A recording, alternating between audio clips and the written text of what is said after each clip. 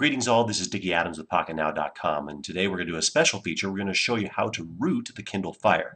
These instructions just came out so we thought we'd do a video feature and show you how it's done. So sit back, relax, and enjoy the show.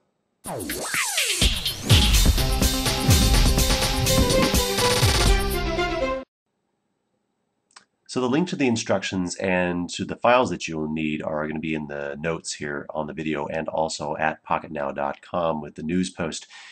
Uh, we're already at the link here in XDA and we're ready to proceed. There's one step that's out of order in my opinion in this listing here and namely that is right here to go ahead and go in and to the Kindle Fire and set the ability to install from unknown devices. So if we go in here to the gear and then we hit more and then go down to device and then right here make sure this is set to allow installation of applications this option right here.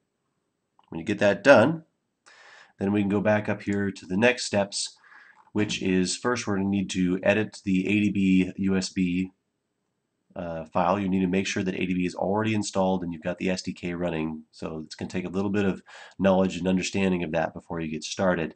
So if we go in here to the Android folder, there's the ADB USB INI file here. And then if we look at that ADB USB INI file, you can see I've already got this here, the detail here, coded into this file and I've saved it. The next step is we go into the USB driver folder. Let me show you where that is. So in my case, it's under the root of the, the, C drive and then Android SDK and USB driver. It's going to be wherever you launch your ADB file from. And then when you look at that particular file, you can see here I've got the text here that's selected here put into the proper places. So there's a Google NTX86 and there's a Google NT AMD 64 and both of them need to have the same code put into both and then the file saved as well.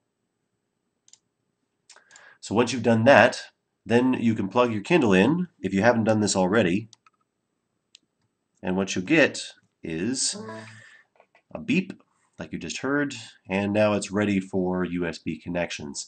Now, if you've already got ADB installed, uh, you can see here, I'm going to go ahead and just type in ADB devices. It's going to show us here that the device is connected right here. So right here, this is the Amazon Kindle Fire ready to go. So now we're going to go ahead and move into my folder here where I've got the SuperOneClick. I'm going to go ahead and open it up. You drag it down here where you can see it. You don't need to change any of the settings. All you need to do is click the root button right here. It's going to take a few seconds. It's going to kill ADB and it's going to run through some steps and you'll see some more information over here. When it gets finished, it's going to ask you if you want to install BusyBox and go ahead and say yes. Uh, and when it gets done with that piece, it's going to ask you if you want to run a test, and you're going to say yes as well. So you can see it's found a path, crunching, crunching. It's going to work away. It doesn't really take too much time. So it's restarting as root. Give it just a couple of seconds for the device to recover. You want to run a test? We say yes. It's going to send an SU command and down here on the device it pops up a little message down here to say that it's been rooted and then says yes you want to root would you like to donate now? Why not?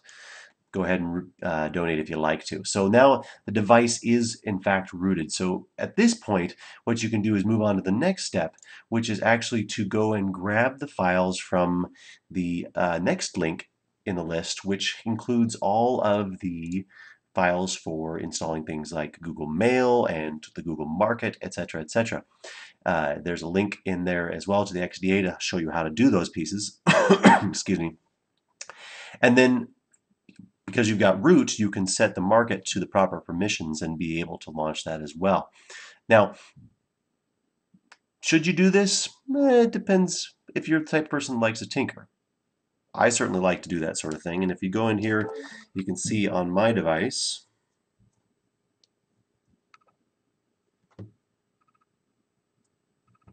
I've already got Go Launcher EX, which is required if you're going to use the market because otherwise it won't launch.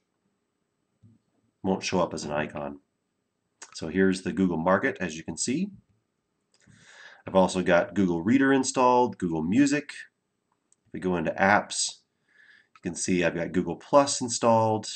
I've also got Gmail installed, Google Maps installed, all part and parcel of this rooting. Although you can install some of these apps without rooting, but why not have root as well so you can get the the part of the market as, as part of this process.